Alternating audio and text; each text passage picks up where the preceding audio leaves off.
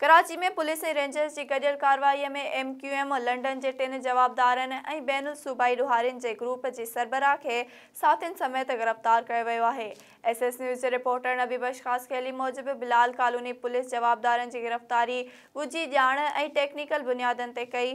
जॾहिं त CCT V फुटेजिस जी मदद सां जवाबदारनि जी सुञाणप कई वई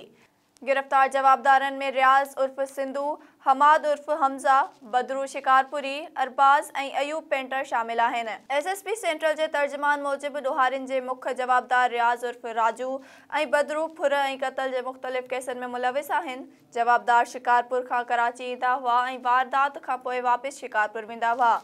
जवाबदार वाक़े दौरान शहरनि जी मज़ामत दौरान फ़ायरिंग करे खेनि क़तलु करण में बि देरि न कंदा हुआ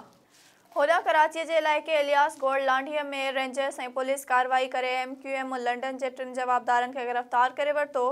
रेंजर्स तर्जुमान मूजिब गिरफ़्तार जवाबदार अगवा भत्ताखोरी फुर के केतर ही वारदात में मुलविस